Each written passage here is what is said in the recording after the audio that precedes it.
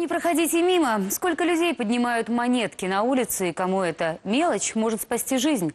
Об этом «Народная экономика». Здравствуйте, но сначала новости. Почти 800 санаториев в следующем году будут принимать по бесплатным путевкам льготников, тех, кто не отказался от социального пакета. Список здравниц утвержден в Минздрав соцразвития, равно как цена одного дня лечения – 828 рублей 50 копеек. Для инвалидов с заболеваниями спинного мозга больше – 1296 рублей. Куда обращаться за путевкой, стоит уточнить в своем местном органе соцзащиты. Возможно, прямо там оформят нужные бумаги. В следующем году уже 20 регионов примут на себя соответствующие полномочия от Фонда социального страхования. Ну а в остальных субъектах Федерации путевки по-прежнему оформляют в подразделениях фонда.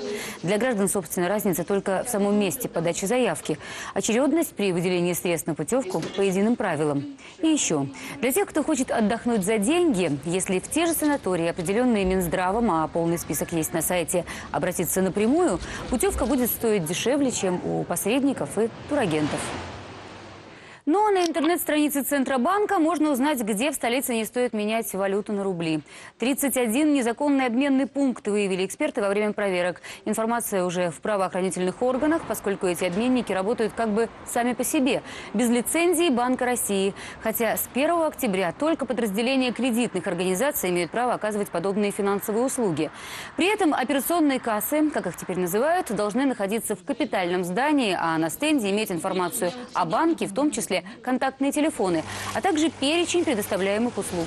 Правда, в некоторых таких пунктах, кроме обмена, по-прежнему ничем не занимаются. Из предписанных дополнительных операций разве что оплата мобильного телефона. Банки, имеющие такие отделения, рискуют попасть под санкции, вплоть до запрета менять деньги. Даже лень наклоняться. Большинство из нас, судя по последним опросам, пройдет мимо оброненной кем-то монетки. И если 5 или вот новые 10 рублей все-таки вызывают интерес, все остальное – мелочь, не заслуживающая внимания. От нее и в кошельках стараются поскорее избавиться. Не выбросить, конечно, хотя встречаются и такие варианты, а потратить. Впрочем, самые мелкие деньги для этого не годятся. Пойди найди, где возьмут по копейке или по 5. И вот их, можно сказать, копят. А точнее, просто складывают дома. Любители фэншуя вообще разбрасывают разбрасывают по углам, говорят, к большим деньгам. Хотя куда уж больше, одних копеек в стране на миллионы. То, что деньги любят счет, знают даже дети, но не все взрослые находят время считать. Продавщица Любовь Ивановна деньги выбрасывает. Объясняет, копейки для магазина не выручка, гроша ломаного не стоит. С монетами не мелочаться, фасует по черным пакетам и на помойку. Наталья, наоборот, копейки собирает. Друзей и прохожих просит проверить карманы, нет ли ненужных монет. Для девушки и ее коллег из благотворительного фонда важна каждая копейка. Это деньги на операции больным детям. Мы решили, что все понемножку, мелочью, мы сможем собрать средства и прооперировать хотя бы одного ребеночка по нашей программе программе. Но а, программа наша, которую мы проводим уже третий раз и будем проводить, показала, что ни одного ребеночка можно прооперировать, а много детей. За прошлую акцию мы собрали больше миллиона рублей мелочи. Судьба копейки так противоречива, потому что расплачиваться мелочью все сложнее. Копеечный пассажир в маршрутке – клиент недорогой и нежеланный. Меня не принимают никуда. Кто у вас их не принимает? В кассе.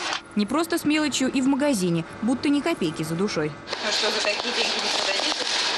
Слушай, возьмите, я вот так даю. Не принимать копейки продавцы не имеют права, напоминают юристы. Данные действия являются незаконными, потому что копейки являются частью рубля и, составляют его нарицательную стоимость. А рубль – это у нас официальная а, валюта Российской Федерации, э, на основе которой производятся все платежи. И даже если копейку перестанут чеканить, а есть такая идея в Центробанке, все, что уже на руках, платежную силу не потеряют.